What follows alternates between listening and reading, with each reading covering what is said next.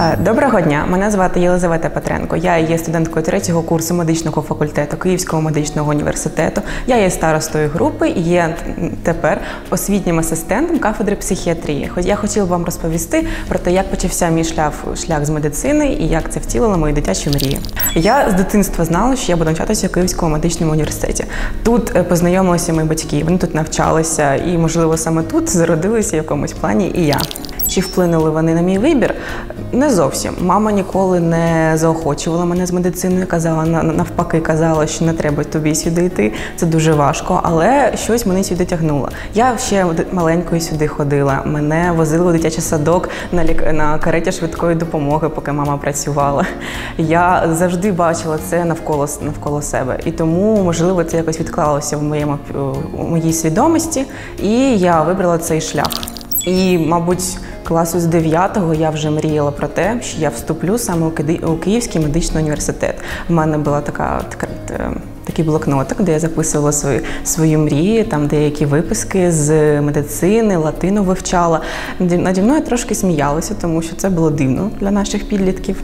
І чи мені це завадило трошки? Ні, мені це навпаки допомогло. Чи мені було неприємно, можливо, але головне це результат. Мабуть, найцікавіша моя історія це вона сталася на другому курсі. Ми з моєю подругою пішли на наше перше чергування у лікарні. Ми були дуже схвильовані. Це був наш перший такий experience. І вночі привезли пацієнта. В нього в анамнезі був інфаркт міокарду. Всі лікарі, всі медсестри побігли його- його рятувати, надавати йому першу допомогу. Ми з подругою просто на це дивилися, спостерігали, щось е, вивчали, розуміли для себе. І несподівано в кінці темного темного коридору, в такому невеличкому просвіті світла, з'являється людина повністю в крові. Ми з подругою дуже злякалися. Ми на це дивимося. Я не хотіла йому відкривати двері. Я хотіла побігти звідси. Але ми ж лікарі, ми побігли йому відчиняти. Це був пацієнт з іншого відділення. Він вночі відірвав катетер і його залило кров'ю. Йому необхідна була допомога його перев'язати, вставити новий катетер. Ми е, всі лікарі були зайняті. Ми побігли на інший поверх у пошуках іншого лікаря. Прибігли, але поверх був повністю без людей, в темноті, без світла. Ми ходимо. Я дуже зля... дуже мені лячно. Ми ходимо, намагаємося когось знайти. І несподівано у нас з'являється летючий халат. Він просто якось промайнув поміж нас. Він так там виси... висить, якось е, колишиться. Це було дуже страшно, але ми в наш- знайшли необхідного лікаря, врятували його і одного пацієнта, пацієнта, і іншого, але це була, це була, мабуть, найцікавіша історія і найлячніша для мене. Е, В моїй школі я навчалася у хіміко-біологічному профілі. В мене було безліч уроків біології і також саме безліч уроків хімії. Хімію я вивчала гірше, ніж біологія, це правда, я її здала гірше. Але так, так це саме я. Всі, всі, люди, всі люди різні. Я приділяла багато уваги справді біології, е, менше хімії, е, достатній час предметам основного профілю, які необхідно здавати, це українська мова та історія України. Не сказ... Я б не сказала, що я була такою сумлінною студенткою, ученицею, яка постійно щось вчила, постійно кропіла над підручниками. Я навпаки більше відпочивала, нічого не робила. І мені в останній момент я просто сіла, все вивчила, здала і вступила. Ніякої особливої там історії не було. Я не є круглою відмінницею. В мене є п'ятірки, е, в мене є четвірки, в мене є і трійки, навіть одна двійка колись була, але вона була одна. В нашому університеті дуже допомагають, тобто на нас не насідають з того, що ми маємо вчитися на одній п'ятірки, або навпаки, що ми дуже всі погано вчимося, нас нас погано викладають. Ні, у нас зазвичай у більшості студен- студентів одні п'ятірки, четвірки, трійок це вже власне вибір людини. Це вже залежить від студента саме.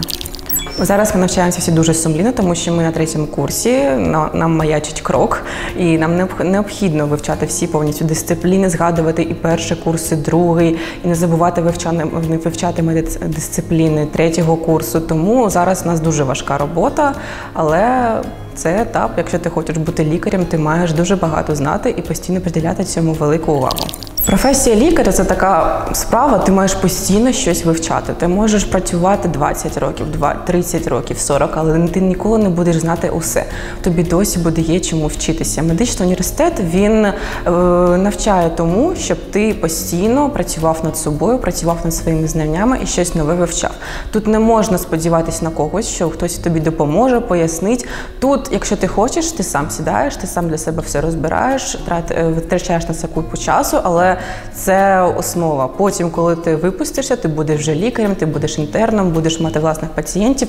Ти все одно маєш постійно сидіти над підручниками, щось вивчати для себе, робити презентації, навчати інших, тому що це така професія. Якщо ти її обрав, то ти, підписав собі такий договір. Мої батьки мене не залучали до вибору до вибору медичної професії. Мама навпаки була проти. Батько не заважав, але він казав, можливо, ти вибереш там, наприклад, е, технології, IT, там будеш пов'язана з цим. Це все ж таки наше майбутнє. Мама казала, що це дуже тяжко. Це ти дуже багато витрачаєш свого часу на це, і це, звісно, твій вибір. Але я тобі раджу подумати ще раз. Я особливо не думала. Я знала, що я хочу бути лікарем. Мені було все одно, що вони казали. Я вирішила бути лікарем. Вони мені, мама мені дуже допомагала. Вони в мене залишилися її підручники. Я по ним досі навчаюся. Вона мені допомагає в деяких роз'яснювальних моментах. Все пояснює, допомагає, не заважає мені. Якщо мені потрібні гроші на якісь нові підручники, без проблем, все, що тобі треба, будь ласка, час також. Якщо тобі треба займатися, будь ласка, ми тебе не чіпаємо. Все для тебе. Сиди, сідай, займайся. Це, Це твоє майбутнє. Я ходила на підготовчі курси від нашого університету, і мені хтось сказав, що якщо ти їх пройшла, то ти автоматично вже вступила. Тобі можна не хвилюватися. Я все одне дуже хвилювалася. Я думала, що можливо я не вступлю, що буду далі робити, тому що я нікуди не подавала, крім Київського медичного університету. І одного дня я собі сиджу, і мені несподівано дзвінок, і такий, такий спокійний. Ви вступили до Київського медичного університету. Ми вас вітаємо там, коли можна, можете під'їхати. Я кажу, дякую, я там приїду такого-то числа. На цьому все ніяких особливих таких емоцій емоцій, чесно, я не я не відчула, тому що, мабуть, я знала, що я сюди вступлю. Це було, як знаєте, лише зайве підтвердження. Все так, все. Шляху назад вже немає. По-перше, е, не слухайте нікого. Якщо вам хтось скаже, що ось бути лікарем це зараз є набагато крутіші професії, які більш винагороджуються і матеріально, якимись іншими людьми. Це неправда. Якщо ви цього бажаєте, ви маєте до цього мати снагу, і ви маєте працювати раді цього і не слухати нікого, хто вам каже, що це не так, навіть батьків. Батьки вони бажають вам усього найкращого, але все ж таки це ваш власний вибір, і ви маєте за ним слідувати. По-друге, я хотів сказати, що ви маєте вже зараз на на рівні абітурієнта розуміти, що тут відпочивати, просто фотографувати, просто фотографувати себе у халаті ви не будете. Перший курс можливо, але пізніше ви починаєте працювати, навіть так пахати дуже сильно і дуже дуже дуже сильно. На третьому курсі ви взагалі будете не розуміти, коли вам взагалі жити, коли вам знаходите час на щось інше. Тому це також те, що ви маєте вже одразу зрозуміти і потім не скиглити, що це таке. І по-третє, е, мабуть, лікарями все ж таки народжуються, тому що е, якщо ти не маєш до цього снаги, ти це не любиш, то ти не витримаєш у цього усього, усього цього, усіх цих шести курсів. Я не кажу про майбутнє, там буде ще важкіше. Тому, якщо ви маєте якісь сумніви стосовно цього, не потрібно йти, аби піти, або щось можливо спроби, можливо, ні, тому що ви ви витратите свій час і ви потім зрозумієте, що це не для вас, тому що це настільки важка спеціалізація, це настільки важке навчання, що тут е, ви потім не витримаєте, вам буде погано. У вас буде стрес, у вас будуть психічні розлади, ви будете, будете на лікуванні у психіатра. Тому я вам бажаю зрозуміти для себе одразу, ваше це чи не ваше. Я раджу студентам вступати до Київського медичного університету, тому що, по-перше, тут готові піти тобі на зустріч, тобі готові допомогти. Якщо в тебе щось не виходить з предмету, в тебе там погані оцінки, хоча ти просто ну, можливо не розумієш, тобі допомагають, тобі дають другий шанс, тобі ви знаходять час, щоб тобі щось пояснити, щоб ти пересклав які, якісь свої двійки, наприклад. Тут е, є можливість не тільки займатися навчанням у, різні, у різних напрямках. У нас є базова школа хірургії у нас є різні кружки з е, надання першої екстреної допомоги. І тут ще є можливість просто жити. Наприклад, є у нас гра е, щоди коли.